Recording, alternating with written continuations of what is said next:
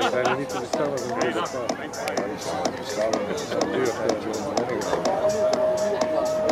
Dat is wel duur. De finale boys team gaan we eens kijken wat hier gaat gebeuren met Nick Kleuskens, Vin van Brussel, Tijn Bongers, Wessel de Visser, uh, Colin van Zutphen, Sam Smeets. We zien Gino Oorbeens en natuurlijk Stijn de Groot op de eerste plek. Gaan wij kijken naar uh, Wiekros. En dat is Stijn de Groot, maar die is op dit moment het plaatsje kwijt door niemand minder dan Vin van Brussel. Die ging hem voorbij, die had hem voorbij gestoken. Dat geldt ook voor de man van de wiels, maar dat kunnen er namelijk drie zijn. Dus ik ga niet gokken. Ik ben nooit goed in gokken geweest. Ik weet wel dat Van Brussel nog steeds vooraan staat. En nu kan ik jullie vertellen dat we naar kijken naar Wessel de Visser op die tweede plek. Maar die gaat nog een aanvalletje plaatsen hoor. Ja, die gaat een aanvalletje plaatsen. Wie het heeft die eerste plaats in dit moment in handen. Voor Van Brussel lijkt het dan toch Wessel de Visser te zijn. Die deze B-finale vandaag op zijn naam gaat schrijven. En daarbij de maximale punten voor vandaag in deze finale in zijn zakken stopt. Gaan wij door naar de boys team.